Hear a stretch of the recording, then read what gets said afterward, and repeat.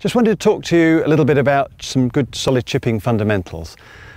One of the big keys I think is to try and make sure that you preset the body in the right position. So what I get my students to do is just push the spine a little bit further over here and then you'll notice that I'll just lean the hands forward like that.